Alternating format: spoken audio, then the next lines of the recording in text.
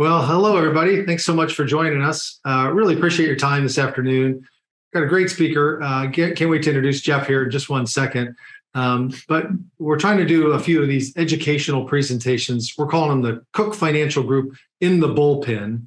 And today we've got Jeff Lanza, and Jeff's uh, retired out of the FBI, worked for the FBI for 20 years. He's got amazing stories, some of them quite scary. Uh, and today's topic is identity theft um, and cyber criminals. And so we're going to help you, um, you know, protect your identity. I, am sure all of us have been uh, exposed to credit card fraud, and we have, you know, children with credit cards, and we've got our social security number out there for the masses, and it's a little intimidating. So that's why we brought Jeff in to uh, give us a little insight on how to protect yourself. So welcome, Jeff. Jeff's also been on CNBC. He's been on Fox with Friends. He's been on CNN. He's been on Good Morning America. And now he's in the Cooke Financial Group studios. So what, what could be better? So thanks for, thanks for joining us, Jeff. Really appreciate sure, it. Thank Brian. So identity theft. What is identity theft? What's it mean to you? And talk to me about what we should be preparing for if we're clients. oh, sure. Well, Brian, thanks for thanks for having me. First of all, and and identity theft is a problem that's been around for a long time. It's affected a lot of people in the United States. Um, you know, credit card fraud is one thing. Um, you know, getting money taken from uh, from accounts that, that is refundable to you once you discover the fraud is uh, is a significant issue, but that's really minimal compared to getting your wholesale identity stolen. What happens when that when that occurs, Brian, is that people uh, will will basically masquerade as you and they'll open up credit card accounts, they'll open up bank accounts, they'll uh, write bad checks on those accounts. They even commit crimes using the stolen identity. There's so much that can happen with identity theft, um, and it could cause really long-term uh, effects um, on, people's uh, people's lives and their livelihood. So we want to try to avoid that happening. For financial uh, purposes, there's a lot we can do to stay safe. Okay a lot we can do. Perfect. The first thing I recommend, and, and, and I use this example when I give presentations, is that the FBI and the IRS, uh, they took down this online marketplace where they were selling people's dates of birth and social security numbers that they purloined from wherever. We don't know how they get it. Sometimes they hack into databases. Sometimes they get it from insiders. Anyway, they're selling. Uh, they had 32 million people in the United States had their socials and dates of birth on this on this particular website. Jeez. That's taken down, uh, but that doesn't mean there's not more sites up there where they're doing the exact same thing, selling this information. That particular site had generated 19 million dollars in profit for the criminals. Um, so. Because our stuff could might still be out there, the social security numbers and dates of birth. One thing to stay safe, to take profit out of the equation, is to freeze your credit reports, okay. and that's easy enough to do. Um, there's a handout that I give out to my, my audiences. I'm sure the audience here will be able to get access we will. to that. We'll definitely supply everybody with uh, with the handouts after the fact. Thank you. And on that handout, you'll see information about the four credit reporting agencies. If you go to the websites that you see on the handout, it's very easy to do. I've done it myself, so I wouldn't recommend doing it unless I've been through this process. Easy enough to do. You freeze your credit reports for each person in your family you're trying to protect it doesn't affect your credit scores. It doesn't affect your credit card relationships. Anything like that has no effect on it. It just prevents new accounts from being opened in your name. That's the whole idea behind freezing your credit reports. It's free and you can lift the freeze anytime you want to get credit checked yourself. And that prevents people from opening these accounts in your name and generating profit. We take profit out, they don't get profit, we're less likely to be victimized. How many people actually freeze their credit reports? Probably a small number, isn't it? We yeah, all, we all should do it. Right. I think we all should do it preemptively. Now, people get victimized and then they they freeze their credit reports. But it's it's too late. I mean, it's already happened to prevent future crimes. But let's do it preemptively before. Uh, and we don't know how many people have done it. There's probably some records out there that the credit reporting agencies put out, but it's it used to not be free. It used to be a pain to do, but now it's they've taken all that out. It's free. It's not. It's been it's been uh, uh, basically made easier to do. So why not do it? I've had the privilege to see Jeff speak before, and you talked about Social Security. Mm-hmm. What should you do preemptively so people don't steal your Social Security? Yeah. So uh, if you're eligible to collect Social Security benefits at the age of 62, whether you want to or not, if someone had your Social Security number, Brian, they can go online and set up an online account using a stolen identity. Right. Uh, and then their Social Security benefits, that victims, get sent to the criminal's bank account. Now, you if you find that out, you eventually you get it straightened out.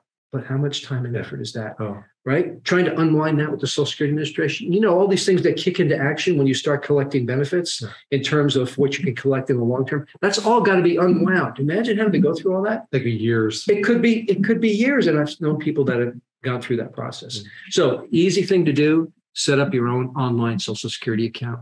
Uh, you go to ssa.gov. If you don't have an online account already, just set one up, set up a strong password or passphrase.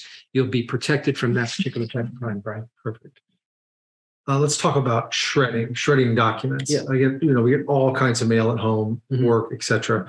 Um, what should we shred? What shouldn't we shred? How do you do it? So you don't have to shred everything that just has, like, for example, your name and address on it, envelopes, magazine covers. I mean, people can find your name and address anywhere. Don't worry about shredding that. But beyond that, of course, social security numbers, birth dates, account numbers, uh, anything with PINs, uh, personal identification numbers on them, uh, financial documents that could potentially be used for fraud and targeted by criminals. Put them through a shredder, but not a strip cut shredder. They're not secure enough. They, they make software, That's believe it or not, Brian, Mine's from Costco. It's a strip cut shred. no, you Yeah. got to get rid of that. You could take a picture with a camera like this, and there's software you can. It'll put the strips back together for you. Ugh. Um, so use crosscut, diamond cut, micro cut shredder. They're about the same price. Yeah. Get rid of that old Got one. it. Get a new Done. one. Micro cut, diamond cut, cross cut shredder. Shred anything beyond your name and address uh, before it goes out to the trash. Uh, speaking of shredding, if anybody has documents that they want shredded, please bring them to Cooke Financial Group. Uh, we have shredder bins and we have those emptied. I think it's weekly. We'll be happy to take care of old tax documents, anything you want shredded. Bring them to our offices. We'll put them in our bins. That- that's a great service. Yeah, be happy. Because a lot of people have reams of stuff I they know, want to shred. for So sure. that's a really good thing. Um, talk to me about um, artificial intelligence, how someone can record your information. Uh, that's intimidating to me. Yes. Tell me about that. Or I, I think you maybe mentioned it as grandkid Yeah. theft. Uh, Right. So one of the first applications we're seeing for fraud using AI or artificial intelligence has been the old-fashioned, tried and true grandparent scam. Now, this is where someone calls uh, a, a, a grandparent up. They get these names from Facebook or even in the phone book, uh, and they say, "This is your grandchild." They, they may have a name, they may not have a name, but they'll make the grandparent think their grandchild's in trouble. They've been in a car accident, they're in a foreign country, they've been kidnapped, and they need money to resolve the situation. And grandparents, of course, want to help their, their grandkids. And what the, what the criminals try to do is they rely upon emotion to get them to do things without thinking them through. If your grandchild is really in trouble, you'll be able to, um, after you hang up the phone, figure that out and call them back and, and get them the help they needed. But chances are they're not. So the way AI is being applied to this is they'll take the voice from a child on Facebook and saying whatever, and they put it through the AI system. off of one of the kids' videos. yeah, yeah, off of the videos, and then they they'll basically um, make the voice say anything they want through AI and say, "Grandparent, it's you know, Grandma, it's me. Uh, this is Amy. I'm in a lot of trouble, and please send money." And it's actually the grandchild's voice that they've used, they created through this computer system. Wow. So watch out for those grandparent scams in any way, but especially when now they're they're they're stepping it up to make it sound like a real grand grandchild. Boy, that's scary. Um, our industry has, you know, you hear about wire fraud and bank fraud. Mhm. Can you touch on that? Sure. Uh, what should clients be thinking about in terms of uh, wire fraud? Well, if I'll use you one example related to wire fraud that um, has been a very profitable one for the criminals. When you think about it, the most money that any of us would ever wire in our lifetimes would be to make the biggest purchase we ever make, and that's would be a home purchase. Criminals will go online and they'll trick real estate companies and title companies and uh, lawyers who deal with real estate into giving up their login credentials for their email accounts. And once they get access to those email accounts, the criminals will then see who's getting ready to buy a house by looking at those emails. And then they'll send emails to those people and say, We're getting ready for your wire transfer. Send it to this bank account. The directions have changed. It's now going to this account, not the one you sent the down payment to. And people are, you know, buying a house is an emotional thing. You want to get it done. You're not bringing a check to a closing. They want wires in advance. So you do what they say. Millions of dollars have been lost that way in the last several years. Just make sure whenever you wire money for any purpose, right? Make sure you call the people that are getting that money at a number you've independently determined for them, right? Not one that's in an email, because that could be somebody that's part of the trade, scam, yeah. right? So as a financial advisor, right, if a client says to you, wire money to this place, you call up the client, you Always. verify. And that's what we have to do in our personal lives too. Yeah, make sure you always verbally verify wires, Uh, and I think most everybody does. Actually, we're required to. If you send us an email with a signature that says "wire money to X Y Z," we pick up the phone and verbally verify it. Um, but make sure you do that. Uh, okay, so wire fra- fraud, and then uh, same thing about account takeovers. I, I guess that's in the same ballpark. Uh, same ballpark. So, so an account takeover, as the term implies, is where someone gets access to an online account of yours. Now, how do you do that? You need their username and password. Now, a lot of times their username may be an email address, but even if it's not, criminals will send out phishing emails designed to look like they're inquiries from a bank or or another financial institution. Hey, there's a there's a a, a survey for you. Fill out the survey and get fifteen dollars. Or there's something wrong with your account. Click in here to get it resolved, and then it'll send you to this fake login page. And then people will try to log in on that fake page. The criminal is monitoring that. Now they have the username and password for sure. Mm-hmm. They'll go to the real bank site and try to log in and set and and take money, wire money out of that account in some form or fashion. Now, so for for people that are concerned about this, there's some really easy solutions to that. First of all, always log in uh, directly at a site, not through not through links that you may get in an email. Right. Right. So even if the email looks okay, even if the link looks good, they'll have logos and slogans in there. That could all be made up. Right. So go to a bank site directly to, to log in. And then also setting up uh, what's called two factor authentication, also known as multi factor authentication, where not only do you put in your credentials, Brian, and you know this, you Yeah. also have to put in the code that comes to your mobile device. And that's that's really basic security these days. It used to be that added thing that we did to stay safe. Now it's part of a basic security protocol. And even if a criminal got your credentials to log into a financial account, they wouldn't be able to log in because the code's going to come to your phone. Yeah. And that keeps them out. It's like putting the deadbolt on your door. It's an extra level of security besides just locking layer. locking the handle. Okay, so regular key is your Right. There's your first source of Right. defense. Right. The deadbolt is your Right. Second that- that's what we're doing here virtually, right? Got it. Yeah. Um, you mentioned uh, one of your talks, uh, hover to discover. Yeah. What's that mean?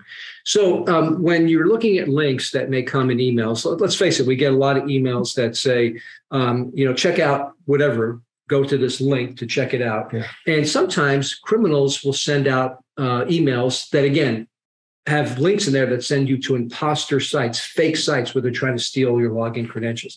So one of the things we can do, besides being really careful about logging in at the right place, is to take your mouse and hold it over the link on a computer. Okay. Holding it there. That's called hovering. Don't press the button, just hold it. In the bottom left hand corner of your computer screen, you will see uh, the true link that you're going to be sent to. And if it doesn't match your bank or other financial institution or wherever you think it is, it may say have some weird, you know, things you don't notice, you don't you don't understand. Don't go there, right? Because No. it's a fake site. You may also see two letter codes in there which indicate Oh, yeah. the site's in a foreign country. If you see a So if dot, it's not com, yeah, RU. yeah, there'll be a slash dot ru. That site's in Russia. A slash ge. That site's in Germany. Uh, even saw one that was in the Ascension Island, which is a remote island in the middle of the Atlantic Ocean. Somebody's trying to steal my PayPal credentials with a phishing email like that. So on a mobile device, you can't hover because you don't have a mouse, right? You do on a computer, Right. but on a mobile device, you press on the link and just hold it Okay. right? So if I was going to go to a link, I press and release it. You go there on the mobile device. But instead of pressing and releasing, press and just hold it. And you'll see on the screen the site you're going to be sent to. If it doesn't match PayPal or whatever it is, don't go there. Don't release it and press it again. Great. I think you mentioned a lock button uh, Sure. in like the upper left of like if you're on Amazon.com or a website and Right. you want to see where, if it's authentic. Right. There's a lock button. Yeah. Talk about that. So um, on any site where you're you're going to put in personal information, you want that site to be secure. And the lock in the top left-hand corner, right before the web address itself. Let's say you're looking at Amazon.com, you know, www.amazon.com. Be a lock right to the left of the www. It looks like a padlock. Yeah, like a padlock. And, and the padlock indicates that you have a secure connection and you're connected in a way that's uh, protected from people spying on that communication. So, but that's one thing. But you can also click on the lock.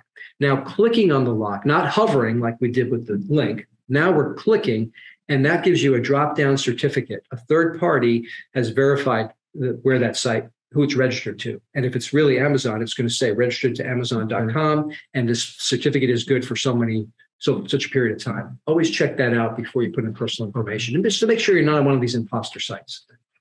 Uh, let's shift gears a tiny bit and talk about protecting your mobile device, Yeah. protecting your computer. Sure. We talked about pass phrases instead of passwords. Right. I'm guilty of Yeah. Uh, simple passwords that are Yeah. tend to be the same on. Yeah. So I need to Okay. change that. But let's talk Yeah. about that. So Brian, you'd be guilty of two things. If you're using simple passwords, that's My one, that's bad. one simple mistake. passwords. Right, right. But but if you're using passwords over and over again, that's another mistake. And, and I know you're not necessarily doing that in all cases. But there's two things we can we can do that'll really make you much more locked down. First of all, think about using strong passwords. A lot of accounts don't even accept simple passwords anymore. But strong passwords having complexity, uppercase, lowercase numbers, and symbols. That's one thing. No one wants to deal with that, right? It's a pain. You got to come up with a different one for each account because you don't want to use the same one over and over again. So think about pass phrases. And a pass phrase is just a, words that are put together, take out the spaces, that has some meaning to you that's unique to that account. Okay. And the example I like to use that everyone may understand, it's easy enough because Amazon has uh, something unique about it, right? With Prime services, Amazon has free delivery two days, one day. Uh, sometimes you get it on the same day that you order things, which to me is just amazing, It right? is. Right. So I'm thinking Amazon's moving towards free delivery yesterday. You're going to get things before you even think about ordering them. Anyway, so Perfect pass. that would be my passphrase. Free delivery yesterday. Free delivery And yesterday. why it's good is because number one, it's long enough, so it's super strong, and it's also um, prevents credentials stuffing, people using it in different places if they get access to it, because it's unique. I'm only using it at Amazon. I'm not using it for a credit card site. Doesn't make sense. I'm not using it for for Netflix. I'm not using it for my bank site. Got it.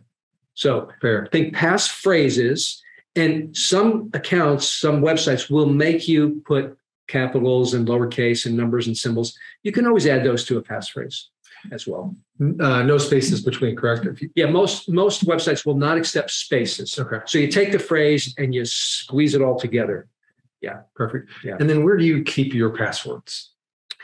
i'm not telling you that Brian, because, Can um, I see your cell phone? Yeah. So mo- most um, people have different methods for storing passwords, but your your best, your tried and true method that's considered to be reliable and secure, Brian, are um, password managers, and you can call them passphrase managers if you want. So there's several on my handout that you will see as examples. I use Keeper, runs about thirty dollars a year, very reliable, very secure. I access it many times a day because when I'm logging into accounts, I, I can't remember my password. I'm going to get my, I want to stop my mail because I'm going to be out of town oh, what's my password to the U.S. Postal Service account? I, I don't remember that, so I have to access that. So Keeper's one. There's there's LastPass. There's Dashlane. There's OnePass. There's a free one called Bitwarden Okay. for ten dollars a year. Uh, ten dollar one time ten dollar payment. Uh, uh, you get full all their their full suite of services, um, but it's free otherwise, Right. and that's considered to be very reliable and secure. What about just uh, you know, the Google Google on my laptop or whatever? Right. to keep my passwords. Is right. that safe? So, not- so your Firefox or your Google Chrome Yeah.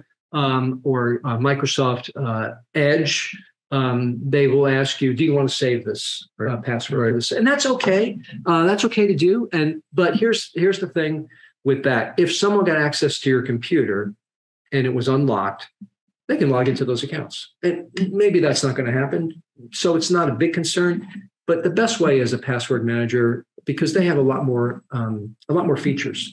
And the other feature they have, which is very important for families, is we've got so many accounts, we've got so many subscriptions, we've got um, credit card, different credit cards accounts, and and if someone dies in the family, sometimes in the Yeah. financial institutions find out about it, they lock those accounts. And now, how do you get access to those? How do you? And so, keeping a password manager um, uh, uh, using the, the full suite of services, you will have uh, a method that loved ones can get access to those accounts because it's all in there for them, and there's there's recovery features for someone.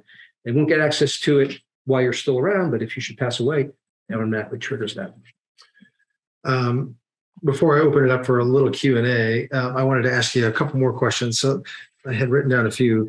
What happens if you are compromised and you you do some, assume someone's stolen your identity? What are the what are the steps you should take? Okay, so there's on my handout, uh, um, there's a list of things to do if that should happen. Right. Well, I'll just leave Perfect. point that out to you. But but in general, um, you, you should freeze your credit reports immediately. If you think someone's got your social, you should, I'm telling people to freeze them to begin with. Right. But, but freezing them um, if after something's happened also will, will help you. And there's also a website, you'll see it on my handout that you can go to. It's called identitytheft.gov. Okay. And if you put in what happened to you, they actually have a, a system where they customize what to do uh, in step-by-step order. So, and you'll see that website listed on the handout as well. And then what about public Wi-Fi? Like, should I be using power sources at the airport? Should I not? Should I use public Wi-Fi in an airport? Or I tend not to. Yeah. I use, you know, a personal hotspot, but Yeah, Talk to me about that. definitely. Air, airport's definitely not secure because there's there's really no password to log in, and so that that removes one level of security right there. But really, any public Wi-Fi, restaurant, airport, coffee shop, not really secure for sensitive information. So you have two options there: virtual private network, also called a VPN. You can buy those for as little as five dollars a month, and uh, you can use that to protect your signal in Wi-Fi hotspots, or just turn off the Wi-Fi don't connect to the Wi-Fi. Turn it off completely if your if your mobile device is trying to connect to it for that time while you're there, and then just use the cellular network of your phone to do these sensitive transactions Makes as well. sense. When you're charging your phone in a place, especially in foreign countries at airports, criminals have been known to put their own uh, charging cables in there. The charging cable, like a Lightning for a uh, for an Apple for an iPhone, or others for the Google phones. They may have uh, be connected to a system which can steal information from the phone or put malware on a phone. So don't use public charging cables. If you have your own cable and you plug it into an outlet, So that's different. outlets fine. outlets are fine. but not the USB, not the USB cord. That's correct. No, the Be, lightning cord. be wary of those. Okay.